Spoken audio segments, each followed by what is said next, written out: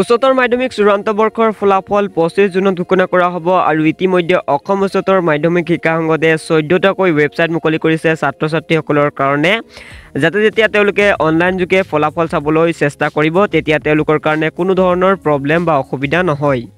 উচ্চতৰ মাধ্যমিক চূড়ান্ত বৰ্ষৰ ফলাফল পঁচিছ জুনত ঘোষণা কৰা হ'ব। কলা বিজ্ঞান আৰু বহুমুখী শিক্ষাৰ ফলাফল পুৱা ন বজাত পৰীক্ষাৰ্থীয়ে লাভ কৰিব। ছাত্ৰ ছাত্ৰী তথা পৰীক্ষাৰ্থীসকলে নিজৰ ফলাফল চাব পৰাকৈ অসম উচ্চতৰ মাধ্যমিক শিক্ষা সংসদে চৈধ্যটাকৈ ৱেবছাইট মুকলি কৰিছে।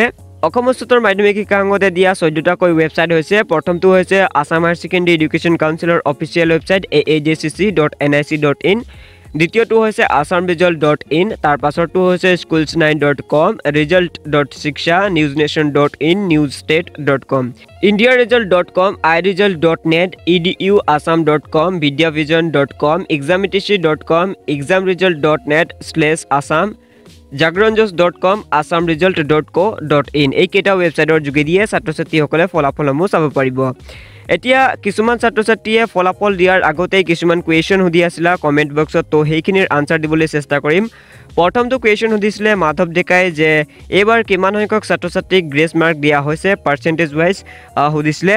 চ' পোনপ্ৰথমে চোৱা যে এইবাৰ কিমান সংখ্যক ছাত্ৰ ছাত্ৰীক গ্ৰেছ মাৰ্ক দিয়া হৈছে বা কিমান শতাংশ ছাত্ৰ ছাত্ৰীক গ্ৰেছ মাৰ্ক দিয়া হৈছে? সেই কথাটো তেওঁলোকে গম পাব যিসকলে বহি চাইছিলে আৰু আছাম হায়াৰ ছেকেণ্ডেৰী এডুকেশ্যন কাউন্সিলে এতিয়ালৈকে অফিচিয়েলি কোৱা নাই যে কিমান শতাংশ ছাত্ৰ ছাত্ৰীক গ্ৰেছ মাৰ্ক দিছে।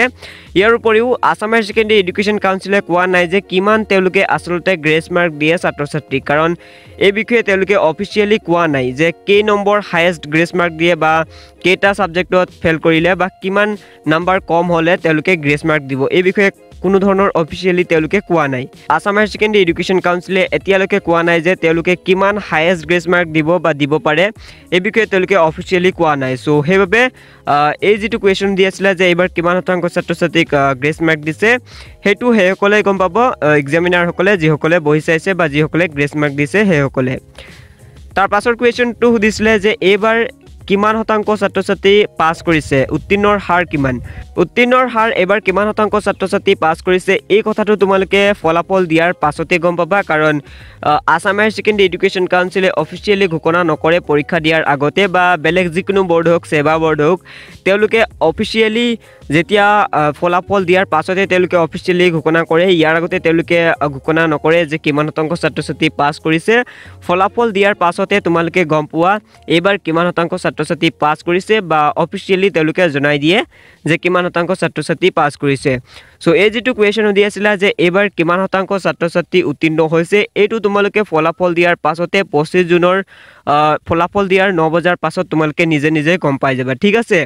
চ' এইটোৱে আছিলে আজি ভিডিঅ'টো। যদি ভাল লাগিলে তেনেহ'লে লাইক কৰিব পাৰা বন্ধুসকলক শ্বেয়াৰ কৰি দিব পাৰা। আৰু যদি তোমালোকক কিবা কমেণ্টত সুধিব লগা আছে তেনেহ'লে কমেণ্ট কৰিব পাৰা। চ' তেতিয়াহ'লে মই নেক্সট এটা নতুন ভিডিঅ'ত আকৌ লগ পাম। Good bye